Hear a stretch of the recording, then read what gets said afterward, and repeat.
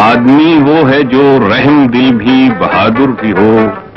उसके किरदार में, उसकी गुफ्तार में शमा अखलाक की झिलमिलाए बात कम और अमल वो ज़्यादा करे, हो अटल दिल में जो भी इरादा करे।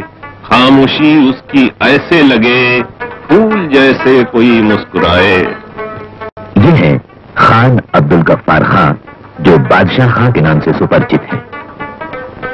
बादशाह खां हमारी आज़ादी की लड़ाई के एक अग्रगण्य सेनानी रहे। इनके ज्वलंत देशभक्ति और सौजन्यपूर्ण व्यवहार ने अंग्रेज़ी हुकूमत के छक्के छुड़ा दिए थे। गांधी जी के ये निष्ठावान अनुयायी सत्य अहिंसा के आदर्श उपासक रहे। गांधी जी उन्हें देवता पुरुष कहते। देशवासी उन्हें सीमांत गांधी के नाम से जानते। और उनके अपने पख्तून लोग उन्हें अपना बादशाह मानकर बादशाह खां के नाम से पुकारते हैं। अंग्रेज़ी हुकूमत के जुल्म और अत्याचारों से जीवन भर जूझते रहे बादशाह खां। आज भी किसी तरह के अन्याय के आगे झुकने को तैयार नहीं है। ये पाकिस्तान जो है, ये तो मुल्क का नाम है। कि ऐसे जिस तरह पाकिस्तान में पंजाब है, पाकिस्तान में सिंध है, पाकिस्तान में बलूचिस्तान है, ऐसा नहीं। महान देशभक्त, सत्य अहिंसा के पुजारी बादशाह खां गांधी स्मारक निधि के निमंत्रण पर गांधी जन्म शताब्दी के अवसर पर प्रमुख अतिथि के रूप में भारत आए। देश की ओर से प्रधानमंत्री श्रीमती इंदिरा गांधी ने और गांधी स्मारक निधि की ओर से जयप्रकाश नारायण जी ने उनका हार्दिक स्वागत किया।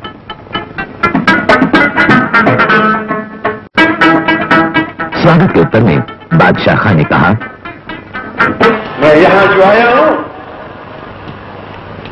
गरज के लिए आया हूँ कि आपको महात्मा गांधी ने जो सबक दिया था उसकी याद दिहानी के लिए आया।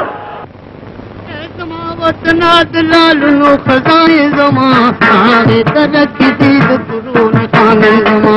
बादशाह खां का जन्म पेशावर ज़िले के उत्तमजाई गाँव में सन 1890 में हुआ। शिक्षा गाँव में ही हुई। तब वे पेशावर के म्यूनिसिपल हाई स्कूल में दाखिल हुए। इसके बाद वे Edward church mission high school में उच्च शिक्षा के लिए गए। इस समय बर्नी काका नाम का एक नौकर उनके साथ था। आर्यों का खून जिनकी रगों में प्रवाहित है, ऐसी ये पठान या पख्तून जमात बड़ी बहादुर और लड़ाकू कौम है। फौज का बड़ा आकर्षण रहता है। बादशाह खान ने भी बर्नी काका के कहने में आकर बगैर घर वालों को बताए, हिंदुस्तान के कमांडर इन चीफ के नाम डायरेक्ट कमीशन प्राप्त करने के लिए दरख्वास्त कर दी कमीशन मंजूर हुआ।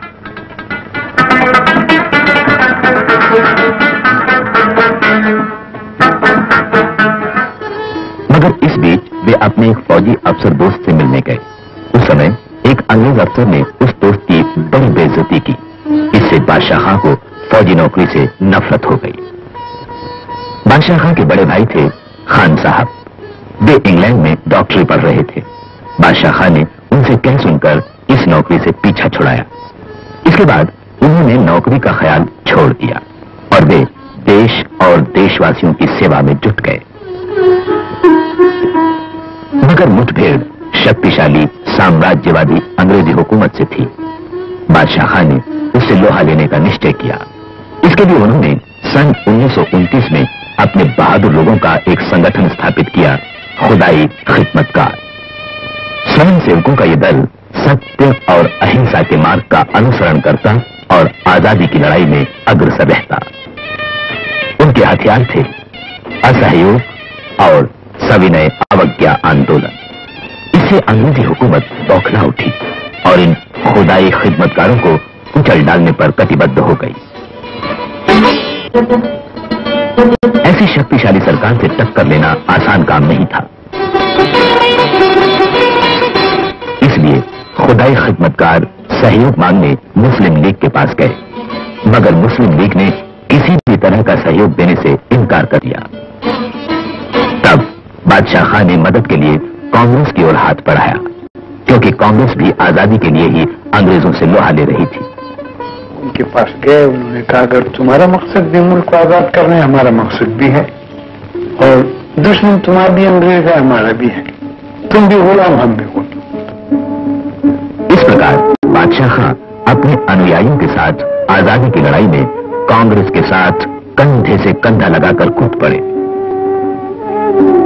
सन 1928 में हुई कलकत्ता कांग्रेस में जब गांधी जी तकरीर कर रहे थे, तब स्वयं को क्रांतिकारी कहलाने वाले एक नौजवान ने खड़े होकर गांधी जी से कहा, Gandhi ji you are coward आप कायर हैं। ये सुनते ही बादशाह खां सत्ते में आ गए। मगर गांधी जी ने इस पर कोई प्रतिक्रिया व्यक्त नहीं की। वे केवल हँसते रहे। अपने विरोधी के साथ गांधी जी का ऐसा सौजन्यपूर्ण व्यवहार देखकर बादशाह खां बड़े प्रभावित हुए और वे गांधी जी के अधिक निकट आ गए। गांधी जी के बताए हुए सत्य अहिंसा के मार्ग पर अपनी बहादुर जमात को ले जाने वाले बादशाह खां देश में सीमांत गांधी के नाम से जाने गए। बादशाह खां का संपूर्ण जीवन अंग्रेज़ी शासन के जुल्म ज्यादती, अन्याय, अत्याचारों का मुकाबला करने में बीता। भीषण जेल यातनाएँ उन्हें सहनी पड़ी। मगर अहिंसा का ये पुजारी सच्चे सत्याग्रही की तरह उन्हें सहता रहा। उनके आगे झुका नहीं।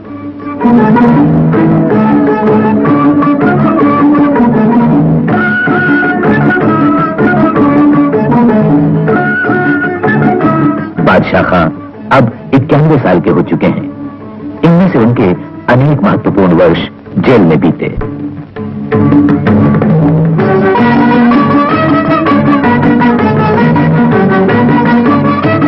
अपनी भारत यात्रा के दौरान वे पवनार गए और आचार्य विनोबा भावे से भेंट की। तो मैं आपको कहता हूँ कि हिंदुस्तान के लोग जो हैं, गरीब लोग खसूस जो हैं, वो तो बहुत अच्छे लोग हैं। लेकिन उनको समझाने वाला कोई नहीं। उन्हीं दिनों अहमदाबाद में हुए सांप्रदायिक दंगे की खबर सुनकर वे अस्वस्थ हो उठे। पीड़ित अंतकरण से उन्होंने कहा मज़हब के नाम पर आप देखें लोगों को मारते हैं उनके घरों को लूटते हैं और उनके घरों को जलाते हैं। ये खुदा का मज़हब नहीं। खुदा का मज़हब जो है वो मोहब्बत है। और मज़हब हमेशा दुनिया में इंसानियत के लिए आता है। इसी यात्रा के समय उन्हें उन्नीस सौ सड़सठ का Jawaharlal Nehru memorial award for international understanding महामहिम राष्ट्रपति गिरी के कर कमलों द्वारा प्रदान किया गया। उस समय महामहिम राष्ट्रपति ने कहा वास्तव में ये हमारे लिए परम प्रसन्नता और गौरव की बात है कि हम खां अब्दुल गफ्फार खां को सन उन्नीस सौ सड़सठ का जवाहरलाल नेहरू अंतर्राष्ट्रीय सद्भाव पुरस्कार प्रदान कर रहे हैं। हमें ये अत्यंत समयोचित लगता है कि गांधी जन्म शताब्दी वर्ष में ये पुरस्कार उस व्यक्ति को दिया जा रहा है जिसके जीवन और कार्य में महात्मा जी का विश्ववाद तथा सत्य शांति की खोज सच्चे अर्थों में प्रतिबिंबित है। उसी अवसर पर दिल्ली के रामलीला मैदान पर उनका नागरिक सम्मान किया गया। उस सम्मान का उत्तर देते हुए बादशाह खां ने कहा, ये है कि ये जो कश्मकश है, इसके लिए अगर इस मुल्क में दयानतदार और ईमानदार और बेगरज लोग वो पैदा हो जाए और वो एक अजम और एक इरादा लेकर गाँव गाँव शहरों शहरों जाए और वहाँ पर लोग जो हैं, उनको समझाएँ। ये तमाम चीज़ें जो हैं, उनके समझाने से मिल सकती सर्व की तरह बारोब हो दूसरों की मदद के लिए यूँ झुके जैसे फल से लदी शाख गर्दन झुकाए, जिसका सीना हर एक के लिए अच्छे अच्छे ख्यालों से लबरेज हो, है उसी के मुकद्दर में खुशियाँ तमाम। उसका दिल दिल नहीं, एक बड़ी सल्तनत है।